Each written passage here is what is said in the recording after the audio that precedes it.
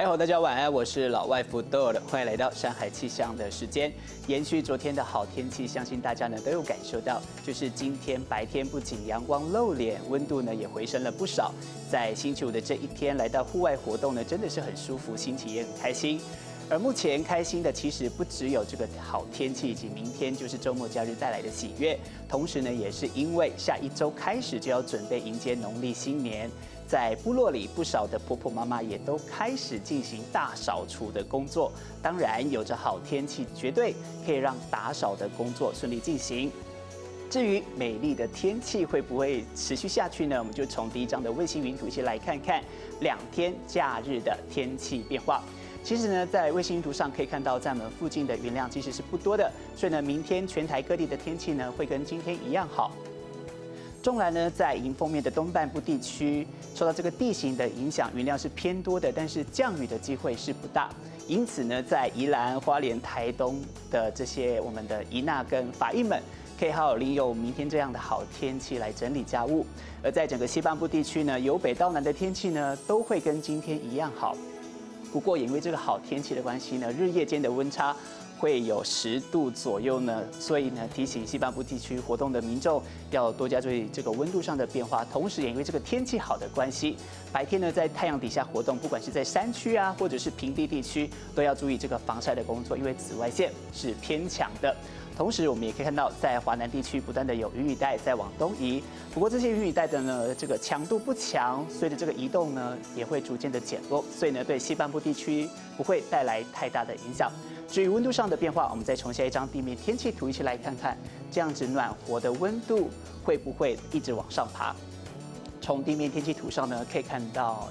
这个冷高压影响我们的这个冷高压呢，明天晚上的时候会更加的远离我们，所以呢，明天白天的时候的这个温度跟今天相比变化不会太大。特别呢，我们要针对南部地区来说喽，因为呢，明天这个白天预估呢，这个最高温可以来到二十七度，同时间呢，要注意到的就是刚刚我们不断所提醒的，日夜间的温差会是比较大的，因为呢，这个最低温可能会在十五度左右，所以呢，就会有十度。